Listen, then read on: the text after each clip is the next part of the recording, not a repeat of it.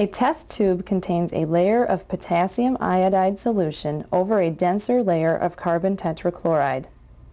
Chlorine is bubbled through the potassium iodide layer. The chlorine reacts with the iodide to form iodine. In the aqueous layer, the brown triiodide ion is formed by the reaction of iodine with iodide. In the carbon tetrachloride layer, iodine forms a purple solution.